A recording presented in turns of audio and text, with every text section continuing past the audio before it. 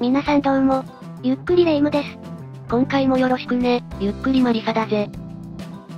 代表ウィークを終えて、選手たちはまた各クラブのリーグに戻っていくね。代表戦も盛り上がりましたし、この調子で日本人選手にはクラブでも活躍してほしいですね。そこで今回は、チュニジア戦でも大活躍だった久保建英について解説していくよ。圧巻のプレーでしたね。スペインで評価が上がり続ける理由がわかりました。今季はリーグ8試合で5ゴール1アシスト。9月にはレアル・マドリードのジュード・ベリンガムらを抑えて月間最優秀選手に輝いたからね。リーグ再開後の活躍にも期待です。久保の所属するレアル・ソシエダのリーグ再開初戦の相手は、現在リーグ15位のマジョルカだね。マジョルカといえば、久保がかつて在籍していたチーム、フルス対決ということになりますね。確かマジョルカの監督は、日本代表でも監督をしていたハビエル・アギーレ監督ですよね。そうだね。アギーレ監督は、久保がマジョルカにいた時から指揮を執っていたから、久保のことをよく知っているんだ。ただ、久保がマジョルカでプレイしてた21-22シーズンに途中就任したアギーレ監督は、久保を冷遇して、当時はあまりスタメンで起用しなかった。今の久保を見ていると、どうして起用しなかったのかと疑問に思ってしまいますね。しかし、成長した久保に対しては、アギーレ監督は認めているようで、今シーズンマジョルカから、パリ・サンジェルマンに移籍したイガンインと比較して、昨シーズンのイガンインのように、彼は爆発したばかりだ。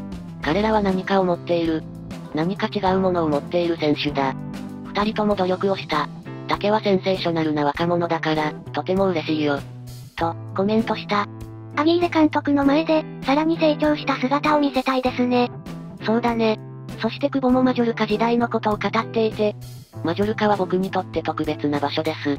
ラリーガに僕の名前を売り出すというか、あそこでのプレーがあったから、みんなに僕のことを知ってもらうことができたと思います。マジョルカにはすごく感謝しています。と、今でも思い入れがあると話していた。合計2シーズンの在籍で、公式戦通算67試合に出場し6得点8アシスト。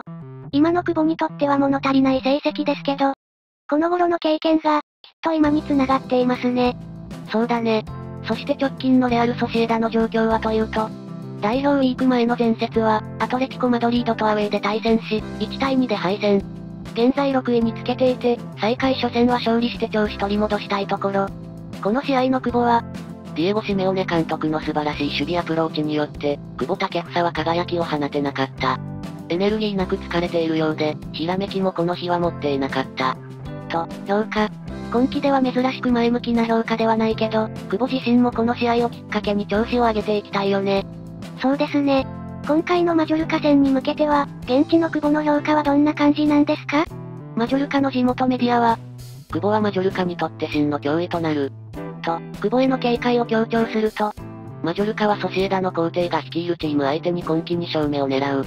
レアル・ソシエダの皇帝は、2シーズンにわたってマジョルカのユニフォームを着ており、今週土曜日の対戦に向けて、マジョルカにとっては大きな脅威の一人となっている。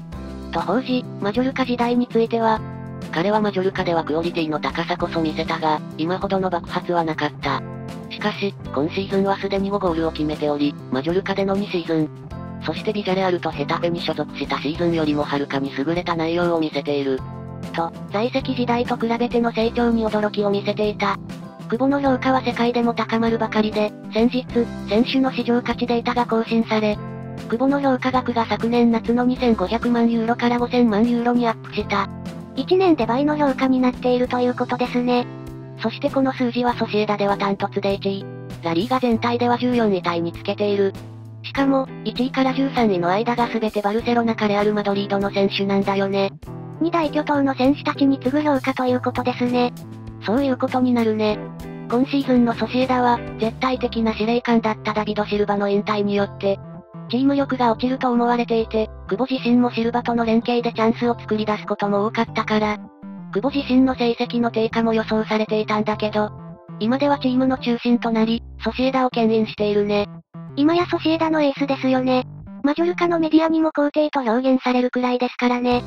そんな久保に対しては、チームメイトも信頼を寄せていて、ゴールキーパーのアレックス・レミーロは、シルバの引退に触れつつ、久保に対して、僕たちがダビドについて言及しないのは、チームが良いプレーを見せているからだろう。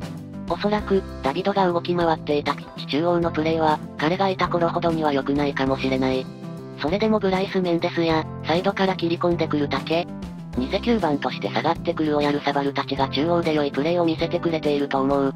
僕たちには彼らがいるんだ。ダビドみたいに重要だった存在が、話題に上がらないのは良いことだと思う。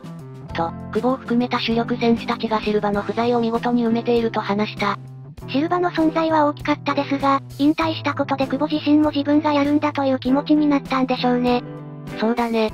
これからますます成長してほしいね。そして今回の試合において、注目したいデータがあるんだ。おお、何ですか？マジョルカ戦に向けた現地の記事で、久保は爆発する準備ができている。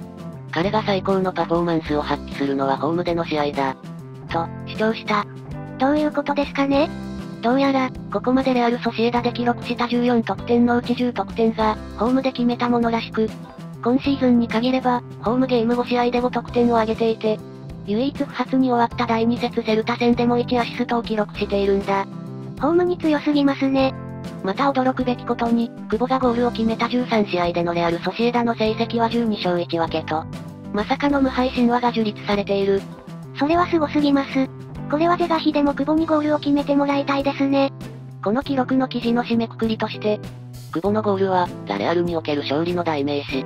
と、面白い表現をしていたね。でもまさにその通りですよね。久保のゴールにはもちろん期待だけど、ゴールしたその試合の勝ち負けも、今後は注目してほしいね。そうですね。試合を見る楽しみが増えました。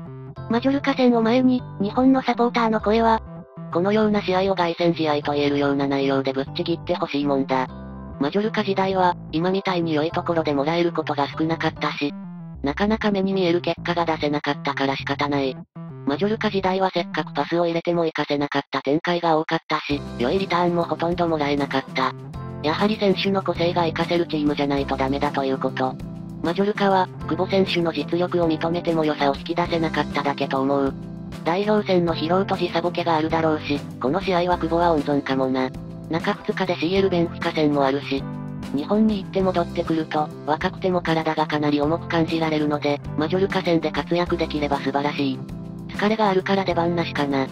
と、言ったように、マジョルカ時代と比較するとソシエダには久保を生かすことができる選手が多いという意見と、今回の古巣戦は、代表戦の疲労の影響で欠場する可能性があるという意見が多くあった。確かにマジョルカのレベルを考えると、久保の温存は十分に考えられますね。実際、久保本人も、きついですね。ちょっと休んで、飛行機で。一応、睡眠薬をもらったので綺麗にスパッと寝られればいいけど、試合も土曜日の日本時間午後9時かな。日本の皆様からしたら、試合が見られて良い時間帯かもしれないけど、僕からしたらきついので、と、やはり移動による疲労があると語った。そして、コンディション面をどう折り合いをつけていくか。栄養だったりいろんなところに気を配りながら。と、今後の対策についても話していた。出場についてはまだわかりませんが、ファンとしては久保のプレーを見たいので、出るなら無理せず頑張ってほしいです。そうだね。今回は、リーグ戦再開後の久保建英について解説してきたよ。フルストの一戦なので、出場するならかなり楽しみです。今週はその他の日本人選手が所属するチームの試合も多く開催されるから、ぜひチェックしてみてね。もしよかったらチャンネル登録よろしくお願いします。コメントやいいね、励みになるぜ。